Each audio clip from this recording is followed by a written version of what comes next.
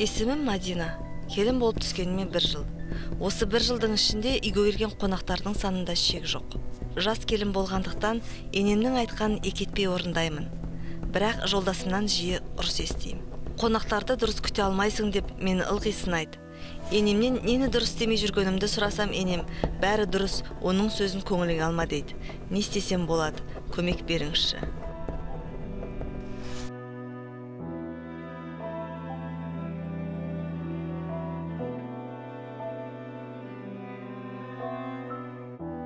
Қымбатты мадина сіздің жазған хатыңызға сәйкес жалпы адам жаңа отбасы құрылған кезде ол белгілі бір өмір сүру дағдысын өзінің әйел, әйелдің отбасындағы модельді немесе ер азаматтың отбасындағы модельді қабылдап әрі қарай өзінікін құрастырып бастайды.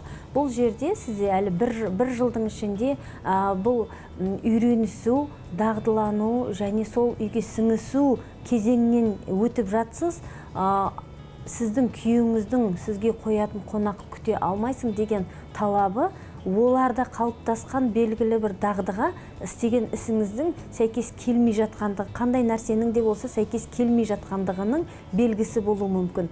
Ал енеңіздің бәрі дұрыс деп жауап бергені бұл өз деңгейінде дана үлкен ақжаулықты аналардың отбасына ылаң түспесін деген шешімі де болуы мүмкін. Менің дұрыс күтуім үшін не істегенім дұрыс деген сұраққа ә, сұрақты жолдасыңызға қойып және содан сол мәселенің төңірегінде үлкен талқылау жүргізсеңіз дұрыс болады деп ойлаймын.